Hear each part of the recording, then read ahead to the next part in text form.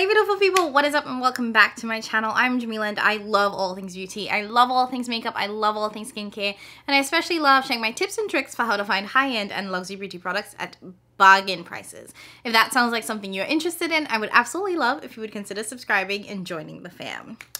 Okay, I have been dying, literally dying to film this because I freaking love rankings. Y'all love when I do rankings too and I've been wanting to do this for a while. It's just, you know, life has been lifing. So I finally have time. I sat down and I'm gonna film, well, I am filming. I'm gonna rank the last 10 eyeshadow palettes that I've tried.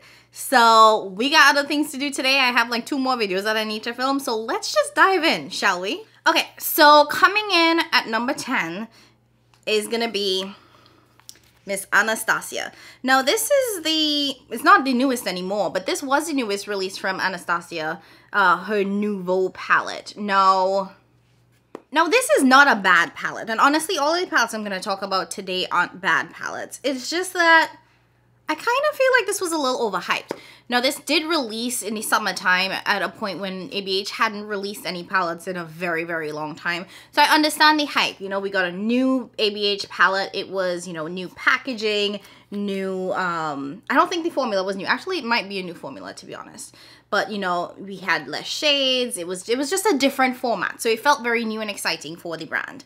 But after using this, I was like, okay, it works. The quality is nice, but I didn't think it was anything special. And maybe it's just me. And here's the other thing too, right? A lot of the videos that I watched of creators loving this and really, really enjoying it, they didn't look like me. So I should have known. I should have paused and thought to myself, Jamila sis, you and them don't share the same skin tone, so you might want to reconsider. Because this what light purple lilac shade is complete ash on me. So I know that's what a lot of people were excited for. And then when you take away the lilac shade, it's honestly a pretty basic palette in my opinion. Um, so having used this a couple of times, it's nice, but I didn't think it was anything special. And quite frankly, there are so many other palettes in my collection that I would reach for over this that it is coming in last place because it was honestly the least exciting palette that I tried out of my pile of 10. The quality isn't bad. It's just nothing spectacular. The other thing too that I want to point out is that there is no deepening shade in this palette. This deep brown shade is actually a shimmer, but it doesn't blend out like Patricia shimmers blend out to be a really nice kind of matte shade. It it, it does you still do see the shimmer there. Can it blend out? Yes, but I wish that there was a darker matte in there. These two shades are kind of light to be honest. Honestly, I just wish I had watched some deeper creators use this before I like ran out and bought it. I got caught in the hype. It is what it is. It happens to all of us sometimes. Coming in at number nine is another palette that I got caught in the hype of. And again, good palette. I just, it's alright in my opinion and kind of overpriced. And that is the Patrick Ta Major Dimension 2 palette. Now this is the rose toned version. Now this is gorgeous. I'll give it that to begin with. And all of these mattes are really, really nice. This one is definitely a bit, you know, it is ashy on me. But all of the other mattes perform really well. You do get two cream shades as well that you can use. And then you have the shimmers. Now, some of these are toppers. A lot of these are toppers. And I just felt like it was okay. It's a rose tone Morphe palette that had good quality, but it felt overpriced and even though it's a nice palette, it's not the first rose toned palette that I would reach for. Again, I just got caught in the hype. I don't know. it's like it's like it's like I could see myself decluttering this easily because I didn't think it was anything special. Maybe it's just me. As y'all can see, I have two palettes in the bottom that a lot of people have been loving and yeah. I don't know. I wish I was more articulate, but I'm not doing a very good job. Sorry. Maybe I'm rusty at this. Anyways, let's keep this moving. Coming in at number seven is the Nomad Cosmetics Hudson Valley palette. This was gifted to me by the brand. Um, and I'm really grateful that they sent it my way. First things first, packaging, 10 out of 10. I love this kind of cardboard papery feeling type of packaging. It's super duper cute. This is a very fall appropriate palette, very, very matte heavy. You only get three shimmers out of the 15 shades. And I do think that the three shimmers pair well with both sort of the green side as well as the warm side. And this performs well. I think the mattes in here work really well. I think it's a really pretty um, palette. What I struggled with with this palette is that when I saw it, I really only saw two or three looks. And I know that I have seen a lot of other creators do really interesting things with this palette, but this wasn't a color story that honestly immediately jumped at me. And it wasn't one that really inspired me. I saw a warm look, I saw a green look, and I was like, okay, cute. But I like palettes when I look at them, I'm like, okay, I see four or five different looks, and this didn't this didn't do that for me. Now, I will say that the mattes in here are amazing quality, such good pigment. This red shade is phenomenal. It actually shows up as a red and doesn't turn pink on me, which I really appreciate because it's hard to find a really nice, just sort of true primary red, in my opinion. And I think the shimmers in here okay. Now, Nomad is not known for having these sparkly or shiny shimmers. So that is just something to keep in mind if you are getting this palette.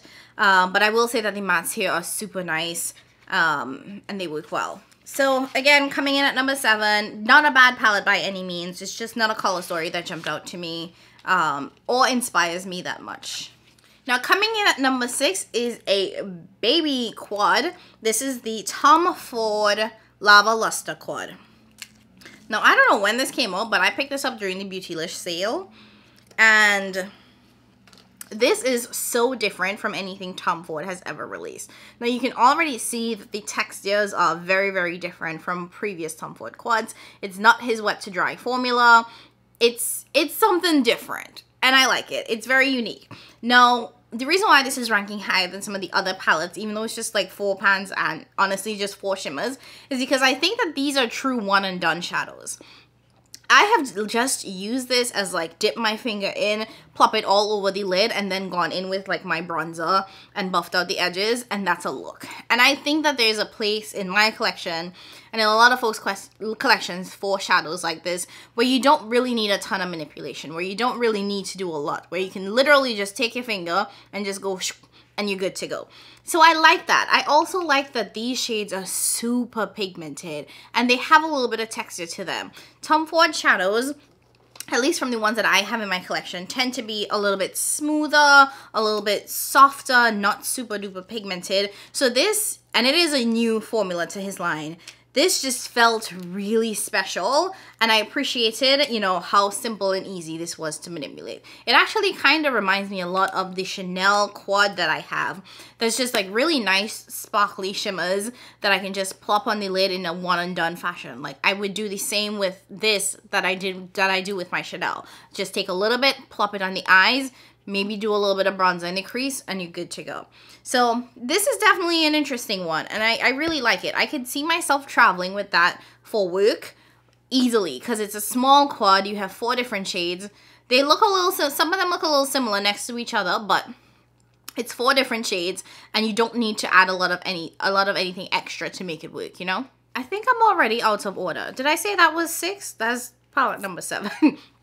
number six I have to give to the Nomad Cosmetics. This is the Montver Montverde palette. This is the Costa Rica palette. I don't know why I'm trying to speak Spanish. Anyways, this is the Costa Rica palette. Again, this was another one that was gifted to me by the brand. Really like this one. like, really like this one. And I really like all of these palettes, so it's hard for me to rank all of them right now. But this one has the cutest packaging Nomad has ever done. I love that they kept the that they did these little cutouts and you have the little sloth and everything. I think it's the cutest thing. So, love that. Now, this is a palette that honestly my opinions shifted a little bit. Now, when I first got this and I tried and I opened it up, I squealed like a baby piglet. I was like, this is so gorgeous. And it really is pretty. If you are someone that loves color, if you love bright, vibrant shades, you are going to adore this one. However, the more I played with this and the more I worked with this, I started liking it a little bit less and less.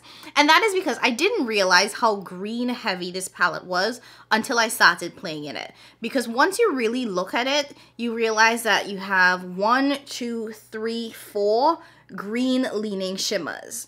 You only really have this purple shimmer here, and even this shimmer on top here is a green to pink multi-chrome. So like when you look at it, all of the shimmers are green with the exception of this purple one, which really kind of forces you to have a green look unless you decide to only play in the matte shades, which is where you get that color and that variation. Like you have these really vibrant pinks and blues, and you definitely get a lot of greens. Even when you look at the mattes, you have one, two, three, four green shades and this one it looks brown but honestly it's a green brown shade so once you put it on the eyes you really start to see the green pop out so after really playing with this palette more even though I thought that this was really really colorful it's honestly really green so if you like green shadows you're gonna like this one but if you thought that this had a little bit more color and variety it is a bit of a shock to the system once you start playing in it and you realize, wait, nah, every single shimmer is green except for one. So that is just something that, you know, made me drop this a little bit lower on the lid. Now, what I will say though is that Nomad did a little something extra and a little something special with these mattes because they are vibrant, they are pigmented. And as far as I know, none of these are pressed to pigments. So if you have sensitivities, you know, you can use this, get real great color payoff. They showed up really well on my skin. I am a medium deep complexion, had no issues with how they paid off. Um, so the mattes here really do stand out and I think are just absolutely stunning. It hurts me to rank this a little bit low, but it's a lot of green, even for me. Okay, next we're breaking into the top five. And palette number five, I have to give to the Melt Amor y Mariposas palette. Now this is just so freaking beautiful. I loved this packaging when I saw it. You know, I love the hummingbirds. I love the monarch butterflies. Everything about this is really, really gorgeous. The palette itself also feels really heavy, really luxurious. It has a lot of weight to it. So it's one of those that I'm like, okay, I see you melt. And it took me like a year before I tried this. I'm I'm ashamed. Yes, leave me alone. now this is a really different palette for melt because they typically don't do the circle pans. These are definitely smaller than standard eyeshadow pans. Um, but overall, this is a gorgeous palette. I think that the mattes in here are stunning. They are pressed pigments. This palette was made in Italy, by the way, if you care. Um, and all the shades here perform really well. I think you can keep it warm. You have some greens, you have purples. I like that it's kind of by row. You have a green row, a sort of neutral row, a more orange row, and then a pink purple row. And I think that all of these shades here mix and match really well. Melt has some amazing mattes and it's no different here.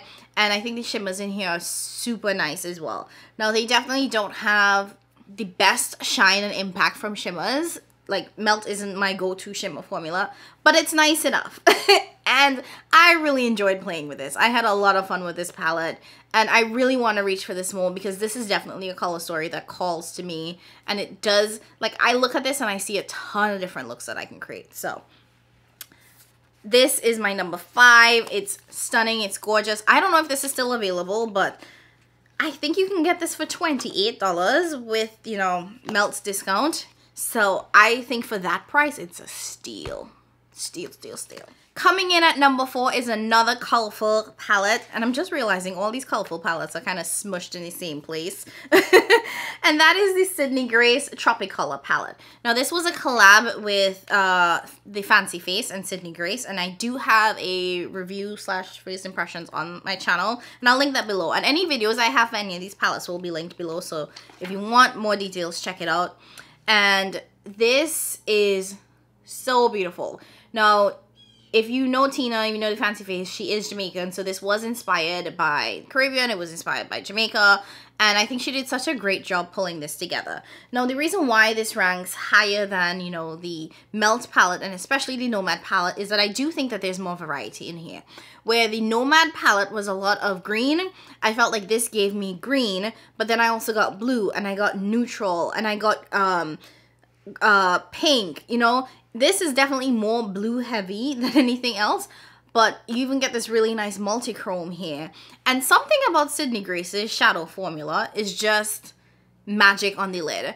Now, the Sydney Grace formula is a little bit heavier than some eyeshadows, which I really started to notice that it does, you know, it's a little bit thicker. it's thicker, but the color payoff is so good. And just because it's thicker doesn't mean that it emphasizes texture or anything else. It honestly just creates really nice punch in my opinion.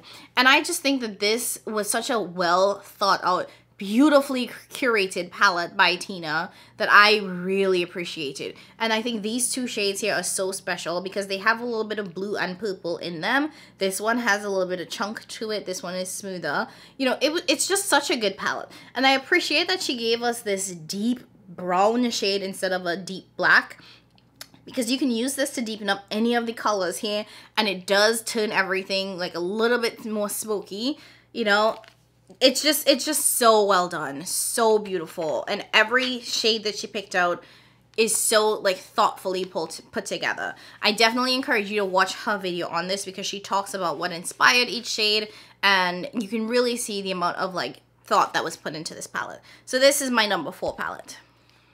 Okay top three.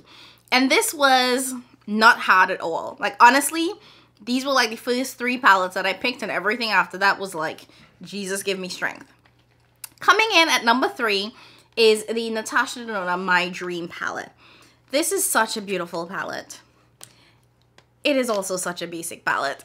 like, I don't think there's anything special about this palette. I will say that. I said it in my first impressions or review video. There's nothing special about this palette, but it's so beautiful. Now, I really do like the packaging for this. I love that we have the like paint splatter and it, it does have like a nice textured feel to it. Even like the writing, like you can, some ASMR for you. and then when you open it up, again, not a special palette, but it is a beautiful color story nonetheless. Now it definitely leans pretty mauve. I think that if you have retro and glam and um, bronze, you can create this palette. But if you if you don't have any of those and you just wanted one, I think this is a really great option. What I really appreciate about this palette is that every single shade in here works for me. None of them are ashy. The transition shades actually work as transition shades for my complexion. So I really appreciate that. The multi-chrome that she picks in in here is not a special multi-chrome. We've seen it time and time again. It's also not the most shifty or sparkly, but it is really nice and soft enough that you can wear it in a professional setting and not feel like you're doing too much. I've worn this to work conference before and I really enjoyed it. I didn't think it was over the top or, or distracting.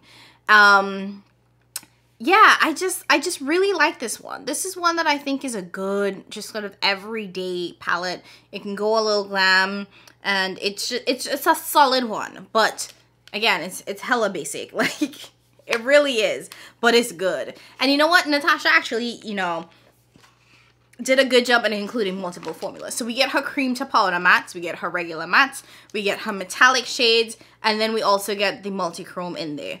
And I think that it has enough shine and punch for those who don't like the soft shimmers that she did in like Zendo, but also still wearable enough that, like I said, it can be used in more corporate professional settings. Okay, coming in at number two, the Uoma Beauty Freedom Palette. I am still mad that y'all let me be out here living my life not knowing that Beauty is out here giving us Pat McGrath quality shadows. This, I don't think I've been excited for shadows like this since Notoriously Morbid, Tammy Tanuka. That's the kind of level of excitement that I have because this is truly Pat McGrath quality at a fraction of the price. The mattes in here are really well. They blend nicely. It's definitely not my favorite matte formula, but they, it works. And it's definitely not as good as Pat's, but it's a nice formula. But it's where the shimmers come in. The sparkle. It's so gorgeous. And I will insert a video of me... Um, that I took with the light hitting it directly so you can really see the shine and the sparkle. It has those fine micro glitters that just light up your eyes and when the light hits it it's like perfection now the shimmers in here are duochromes it's not the strongest duochrome i'll say that it's not like wet or anything like that but it is nice it is a solid, nice duochrome formula. And the reason why it's ranking so high is because, like I said, I got that excitement that I, you know, don't really get with a lot of new formulas that I try. And I haven't really fed, felt that since like the Tammy Tanuka formula or the Notoriously Morbid formula. So, you know, this one gave me a little tingle and I was like, oh, look at Jesus. so, since then, I have purchased four more Uoma Beauty palettes. That's to tell you. So, it is ranking really high because it's such good quality. If you haven't tried the formula, I seriously encourage you to try it. And coming in at number one is none other than Miss Pat McGrath. This is the Mothership number 10 Moonlit Seduction. Y'all, I know we wanted color. I know we wanted Pat to do something special with her Mothership 10. And, you know, not everybody was super excited for this, but she put her foot in this palette. Her foot, her arm, her leg, her teeth, her, everything she put into this palette. And I think it's so beautiful. This is the epitome of glam. Like, if you wanted glam, this is the palette for you. I think that this is such a beautiful color story. Now, what I think is interesting about this is that she did the special shades in here. We don't have any of that baked formula that she has in some of her earlier palettes. So I don't know if she's getting rid of it. I hope not because I kind of like that one. But, you know, that aside, I think that this is a really beautiful palette. I think that you can do, you know, more grunge, you know, looks. Or you can do something that's a little bit lighter. And what I love about Pat's mattes is that you can always blend on her mattes to get lighter shades. It's just, you know, something that she does that I think is so really, really special. Now, I knew this palette was a winner when I wore this to my cousin's wedding. I was a bridesmaid in her wedding. And I'll insert some footage of me wearing it.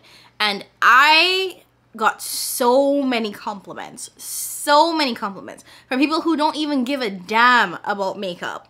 And they were like, wow, I love your makeup. Wow, I love your eyeshadow. The photographer for um for my cousin's wedding, she was like, "Are you wearing Pat McGrath?" Oh, who is at my door? Hold on. Okay, anyways, had to get my package real quick. Anyways, so the photographer, she was like, "Are you wearing Pat McGrath?" Like Pat McGrath Shadows does something just special, does something different.